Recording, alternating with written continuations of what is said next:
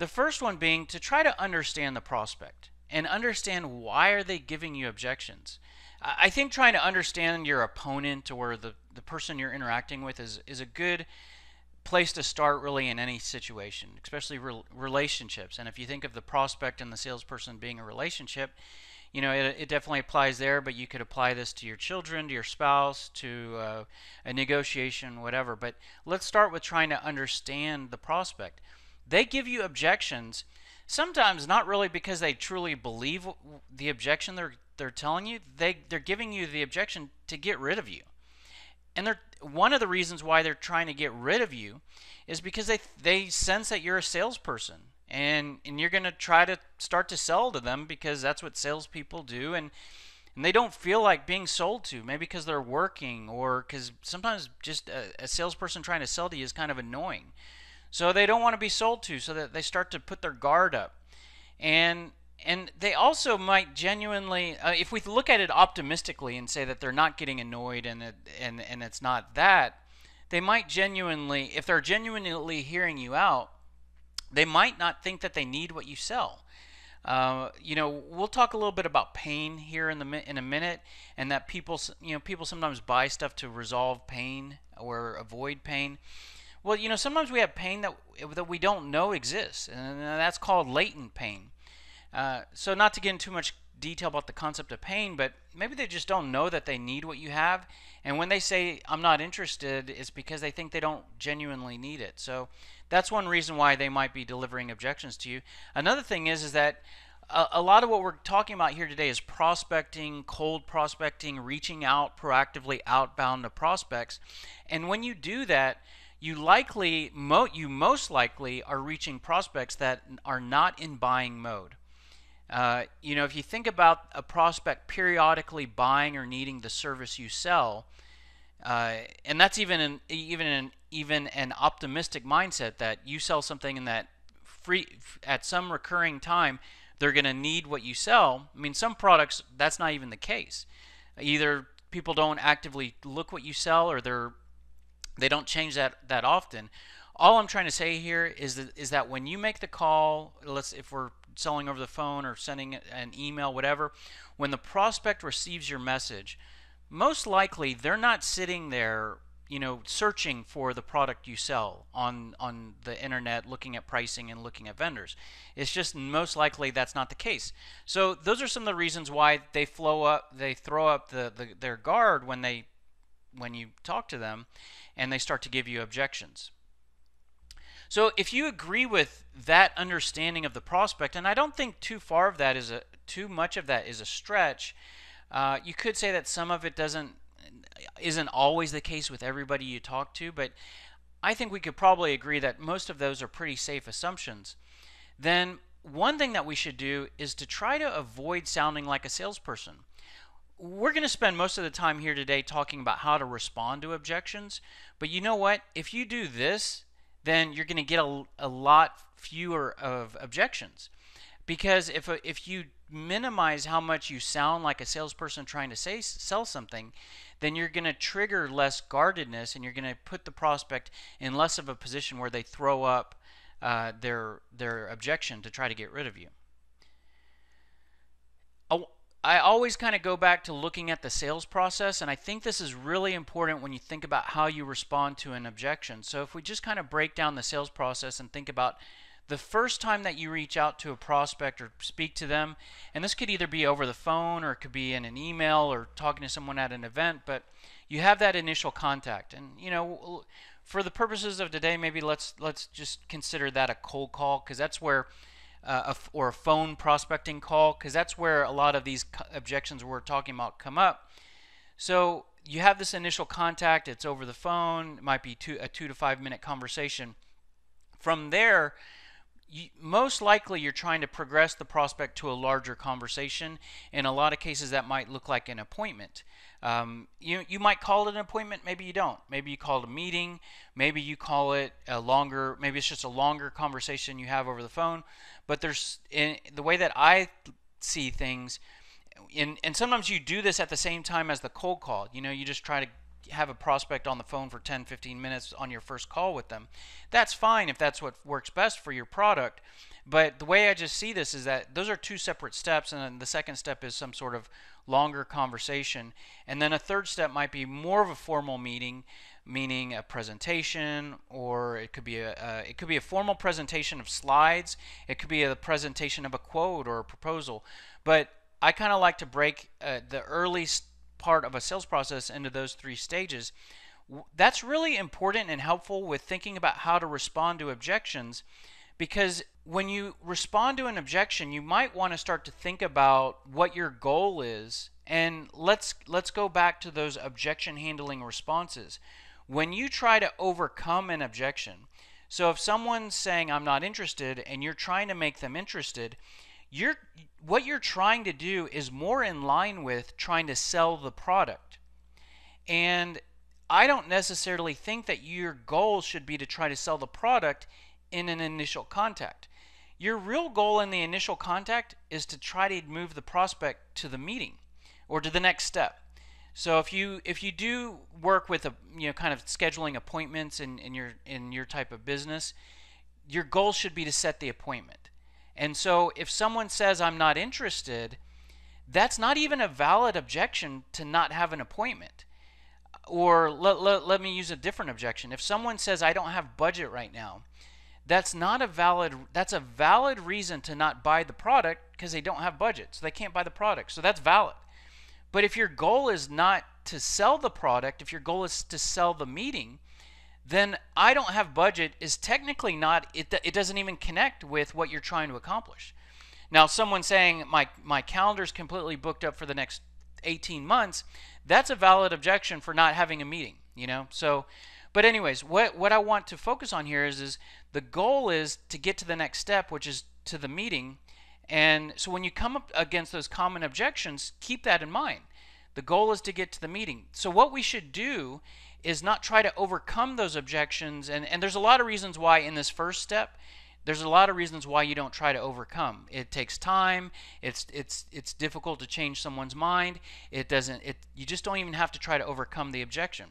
But I will say when you get to that meeting and that appointment, maybe you do want to try to overcome an objection. So I'm not necessarily saying to never try to overcome objections. I mean, if someone has an objection and it's a legitimate thing to be for them to be concerned about, sometimes you do need to deal with it head on, especially if it means that they're never going to be able to be fit with your product, then you don't want to necessarily spend a lot of time trying to sell to them and waste your valuable time. You, but you don't need to identify that before the appointment. Let's get into that in the appointment. So, in according to the sales process, let's focus on deflecting till we get to the appointment. Then the, in the appointment, we might deflect the objection or try to overcome it. And then if we get into some sort of formal discussion, then we're, we're primarily only trying to overcome objections. I mean, you know, we need to deal with the prospect's concerns and really uh, address everything. But for the objection responses that I'm going to show you, they align with you kind of agreeing with this. And so you kind of, it can help to kind of have your hands around this or agree with this philosophy in terms of delivering what we're going to recommend you do. The last thing I want to talk about before we get to the responses is your sales pitch. And a lot of times people think of sale, a sales pitch as something that someone says when they're trying to close the sale or when they're delivering a presentation. I believe I see a sales pitch as everything you say when you're talking to prospects. So what I think is, I think that most salespeople deliver more of a product-centered, pushy sales pitch, and it looks something like this. Like this. This is the company I work for. This is what we sell. This is how it works. This is how it's how you can purchase it and what it costs. And every conversation is focused on closing the sale. And even if the product is not a one call close, and I'll give you an example. Uh, I had a cold call from a payroll services provider. And all of our questions were around Are you looking to make a change regarding your payroll provider? Well, that's even knowing uh, it's not a one call close, and if I, we were to start discussions, we would have lots of com- conversation and steps. But her questioning was all around are you looking to do something yes no do you need what we what i sell yes no so the whole pitch is centered around selling the product closing the sale now what we want you to do is have more of a consultative approach so instead of focusing on the product you focus on how the product helps You focus on the problems your product helps to resolve. We want you asking good questions.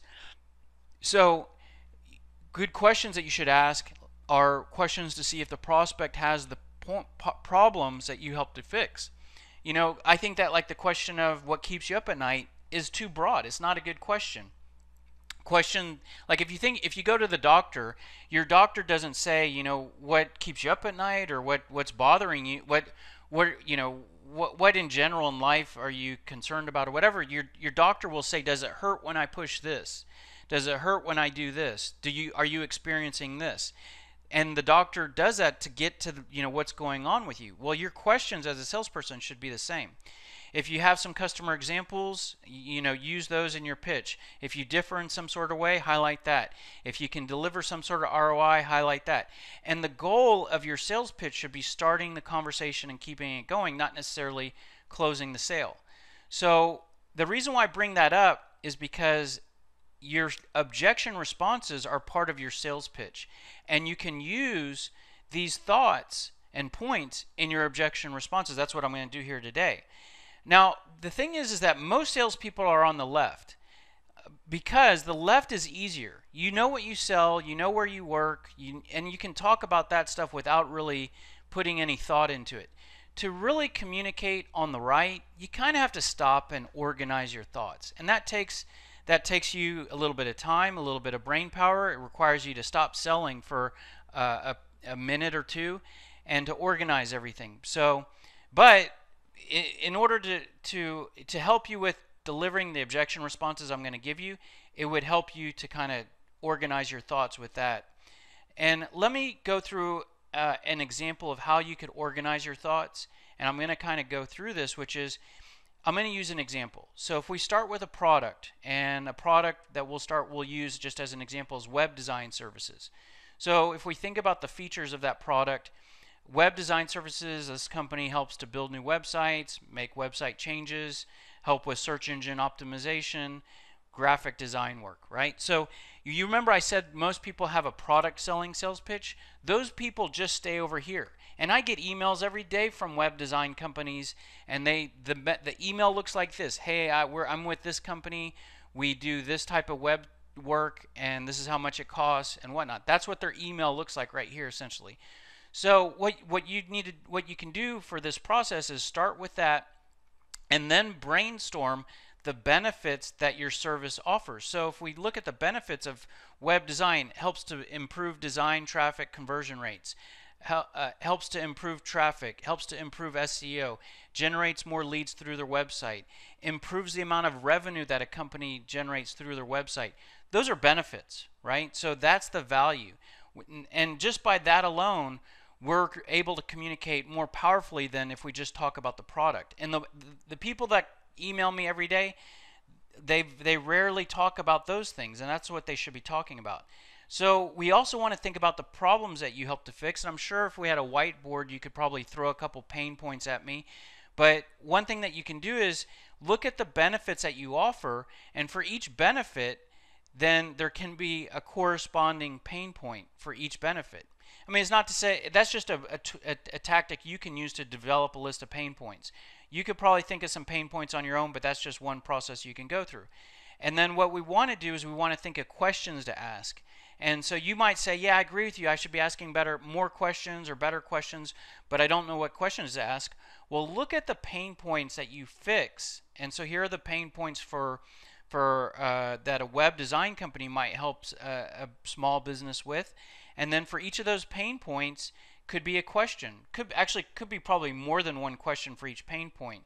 But if we're just kind of doing one for one, we kind of go through this process and we came up with six benefits that led us to six pain points, and that led us to six qualifying questions. Now, you don't have to do six. I would say at a minimum, you want to do probably three. And you could probably do up, you know, more than six. You could do 10. But one thing I want to point out is that if you go through that process, and we're, we're here talking about objections, right? But if you go through that process, then you can have your value proposition and you can have your list of questions to ask and you can have some common pain examples. And if you add to that, you know, your company and product info, and then you put around that sort of an introduction and a close, you know, language, then you essentially have a, a call script that you can use for a consultative selling, cold calling conversation. That's not what we're here today to talk about. We definitely help you with that, and we have other, other webinars on that.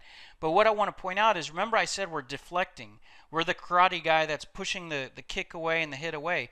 Well, I'm going to go through a bunch of res- objection responses here, and it, if you didn't weren't don't really pay attention, it's going to look like I'm giving you a lot of addition, a lot of different things to memorize and learn.